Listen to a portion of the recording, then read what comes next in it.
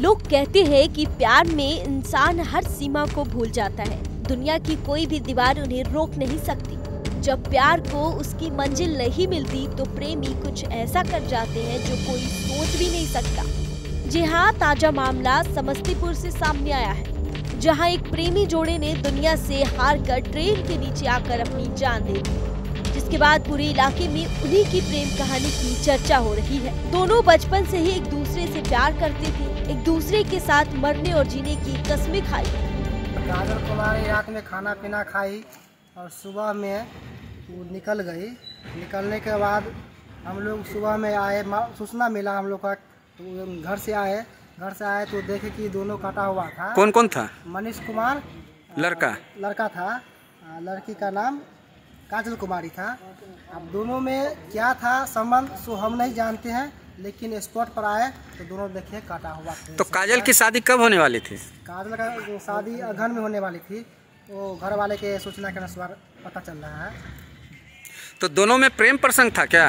वो मालूम नहीं है वो तो वही दोनों जन जानेंगे। वो लोग तो हम लोग को मालूम नहीं है।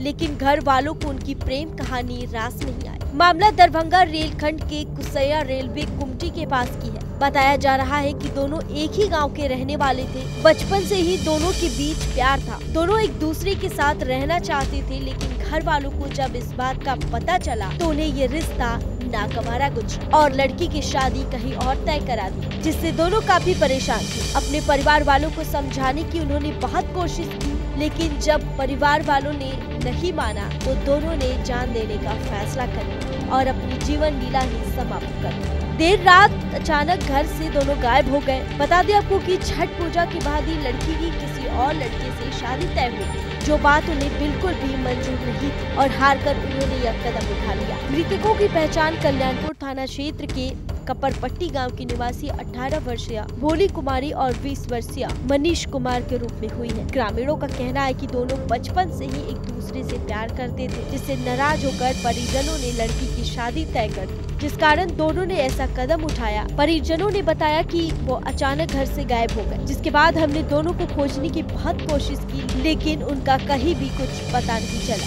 जिसके बाद आज सुबह ही उनकी आत्महत्या की खबर सामने आई है।